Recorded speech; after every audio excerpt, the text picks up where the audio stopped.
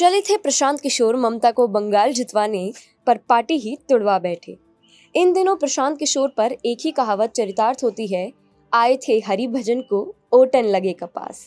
चुनावी विश्लेषण में निपुण प्रशांत किशोर, आए तो थे ममता बनर्जी का सिंहासन बचाने, लेकिन ममता को गाजे बाजे के साथ सत्ता से बाहर खदेड़ने की पूरी व्यवस्था कर गए। पिछले कुछ दिनों से पश्चिम बंगाल में सत्ताधारी पार्टी तृणमूल कांग्रेस की हालत बहुत ही ज़्यादा खराब है। एक और उनकी नेता और बंगाल की मुख्यमंत्री ममता बनर्जी पूरे देश में अपने कारनामों के कारण हँसी का पात्र बनी हुई है। तो दूसरी ओर तृणमूल कांग्रेस द्वारा राज्य में दबदबा कायम करने के सभी पैतरे असफल होते दिखाई दे रहे हैं।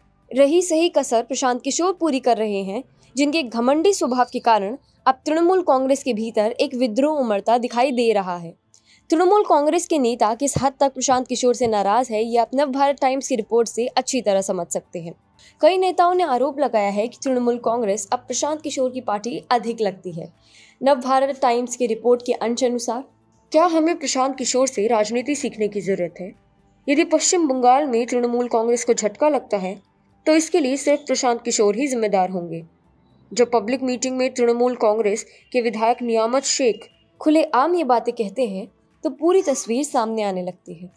इससे पता चलता है कि किस तरह टीएमसी के अंदर प्रशांत किशोर को लेकर नाराज़गी है। परंतु बात यहीं पर नहीं रुकी। रिपोर्ट में आगे ये भी कहा गया कूच बिहार के विधायक मिहिर गोस्वामी भी अपना गुस्सा खुलेआम दिखा चुके हैं। गोस्वामी ने सोशल मीडिया पर पोस्ट कर पूछा कि तृणमूल कांग्रेस सचमुच ममता बनर्जी की पार्टी है। ऐसा लग रहा है इस पार्टी को किसी कॉन्ट्रैक्टर के हाथ में सौंप दिया गया है। ये गतिविधियाँ तृणमूल कांग्रेस के लिए चिंताजनक बात है, क्योंकि धीरे धीरे अब उसके कद्दावर नेता भी पार्टी का साथ छोड़ रहे हैं। उदाहरण के लिए, एक समय पर तृणमूल कांग्रेस के संकट मोचक माने जाने वाले शुभेंदु अधिकारी भी अब बगावती तेवर दिखा रहे हैं। इससे पहले अर्जुन सिंह और मुकुल रॉय जैसे नेताओं ने ममता बनर्जी की हेकड़ी के कारण पार्टी छोड़ दी थी और अब प्रशांत किशोर स्थिति को संभालने की बजाय उसे और बिगाड़ते ही चले जा रहे हैं।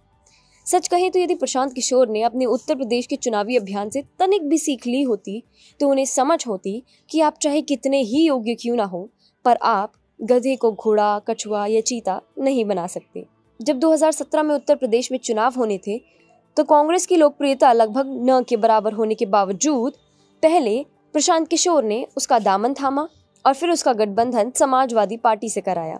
जिसके कांग्रेस के बिना उत्तर प्रदेश में पुनः सरकार बनाने की संभावनाएँ अधिक थी।